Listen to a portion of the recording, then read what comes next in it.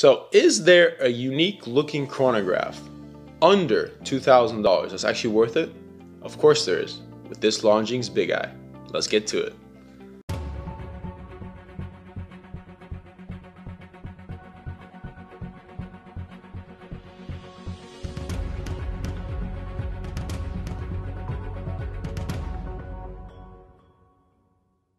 What's up guys, welcome back to Avant-Garde. And today I want to talk about a watch that's actually pretty near and dear to my heart and a watch that I think a lot of collectors looking for that under $3,000 range, uh, or I will say at least under $2,000, uh, that want a chronograph, they're looking for that chronograph piece. And really, I think this is the watch to get. Now, some people might say, oh, you can get a Speedmaster Reduced and all these other watches. No, you want to get this, guys. This is the watch to get. So this is the Longines Big Eye. This came out a couple years back, I believe in 2017. And Longines actually uh, won an award for this design. I mean, it is a sexy, sexy looking watch, especially with the case back with the plane on the back. Um, and it's a watch that looks way more expensive than you actually think. The retail is 2600 I think we're selling this in our shop for uh, I think 1700 1800 something like that. I gotta double check pricing. Again gotta ask Lance.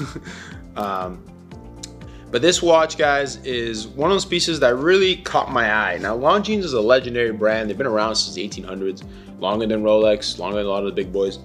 But you know now they've after they've been acquired by the Swatch group in the 80s 90s whenever that happened I think it was 80s um, they've become more of a entry level brand. Although $2,500 is not a little bit of money, don't get me wrong. Um, but they're definitely more on the entry level. But what does that mean? The first pro to that is you get a legendary brand, legendary, legendary brand, um, with real watchmaking chops, if that makes sense, um, for very little money. Now, this watch um, is using an ETA-based movement, but it is specific to Longines because they are integrated with the Swatch Group. Swatch Group can dedicate certain movements to them. So it's a column wheel chronograph with a clutch. I mean, amazing, smooth action, and it has that big eye on the dial. That big eye is why it's called the big eye, Longines big eye. It's kind of this, it's a big seconds counter right in your face. Um, very, very readable. Uh, this was actually a style that pilots in World War II would use the Germans would use this. They called it a Flieger, Flieger watch. Um, this is, of course, a Swiss watch, but they're kind of hearkening to that uh, kind of design. Now, I think the watch is gorgeous. I think the movement is amazing. Kind of wish it had an open case back actually, because the movement is beautiful. We'll insert a video of the movement.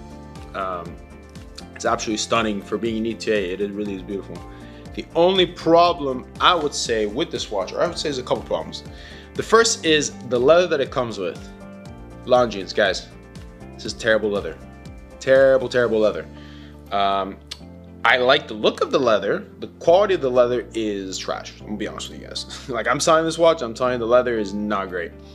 Um, it's very, very low quality. You definitely have to get another band for it. It's very thin.